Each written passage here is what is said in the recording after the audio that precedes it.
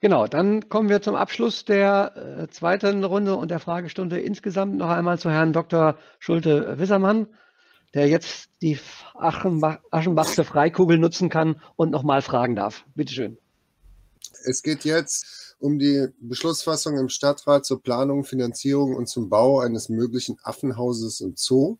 Und zwar hat der Dresdner Stadtrat am 26.11. letzten Jahres beschlossen, dass der Oberbürgermeister dem Stadtrat bis zum 28.02., also bis vor einigen Tagen, eine Vorlage zur Planung, Bau und Finanzierung des Neubaus eines Orang-Utan-Hauses zur Beschlussfassung vorzulegen habe. Der Februar ist vorbei, aber in der Zeitung kann man lesen, dass der Zoodirektor Karl-Heinz Ukena äh, gesagt hat, dass er 12 Millionen Kredit aufnehmen will und dass natürlich darüber es eine Vorlage geben werde. Er aber zuversichtlich sei im Juli zu beginnen mit dem Bau und dass er bereits am 30. Oktober Bauantrag für das Affenhaus gestellt hat. So, jetzt meine drei äh, Fragen. Ähm, auch, ich stelle sie auch wieder am Blog. Vielleicht habe ich noch eine Nachfrage, aber ich hoffe nicht. Äh, erste Frage. Wie ist der Bearbeitungsstand der Stadtratsvorlage zum Neubau des Affenhauses? Wann wird die Vorlage die Gremien erreichen? Wann ist mit einer Beschlussbehandlung äh, im Stadtrat zu rechnen? Nummer zwei, welche Beratungsfolge ist vorgesehen? Insbesondere wird auch der Stadtbezirksbeirat Altstadt in die Beratungen eingebunden.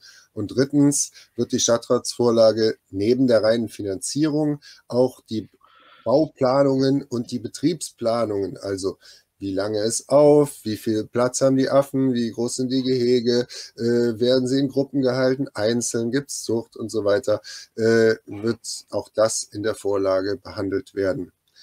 Ich Danke schon mal vorab für die Antwort.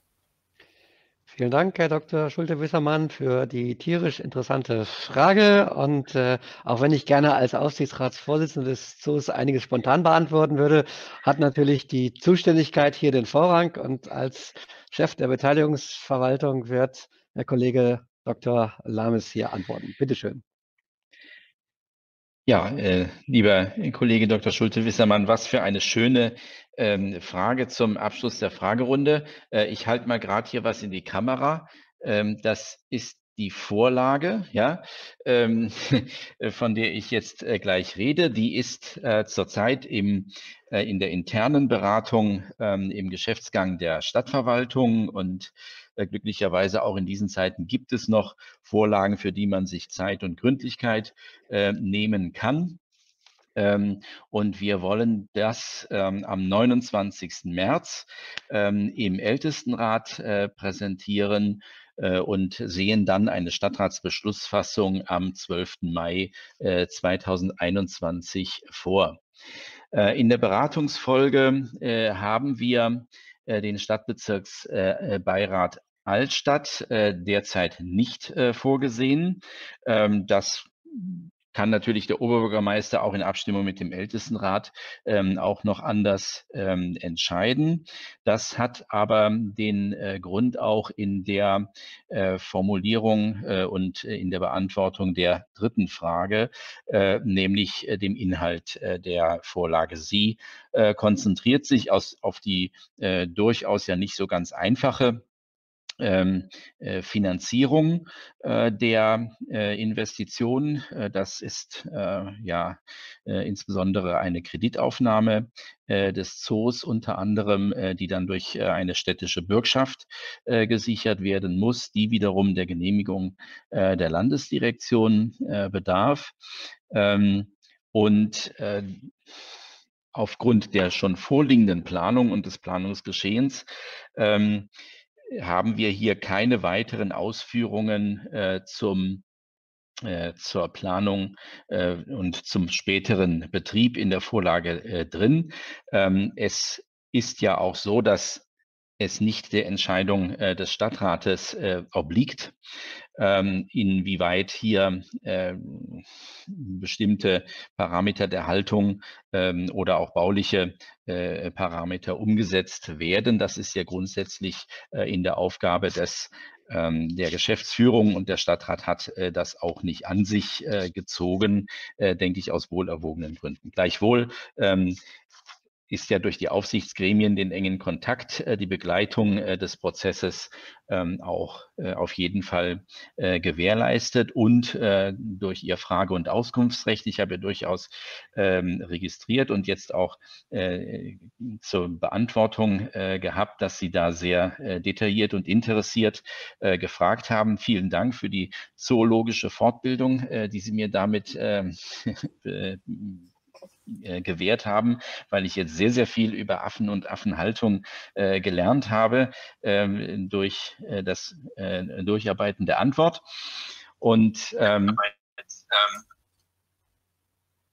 ähm, aber wie gesagt, die ähm, äh, Vorlage konzentriert sich ähm, auf, die, äh, auf die Finanzierung äh, des Vorhabens, deswegen derzeit keine ähm, Befassung des Stadtbezirksbeirates Altstadt äh, vorgesehen. Gleichwohl äh, haben wir auch verwaltungsintern nicht vergessen, dass der Stadtbezirksbeirat äh, Altstadt ja durch eigene Finanz- und Verfügungsmittel ja auch zur Finanzierung der Planungen beigetragen hat.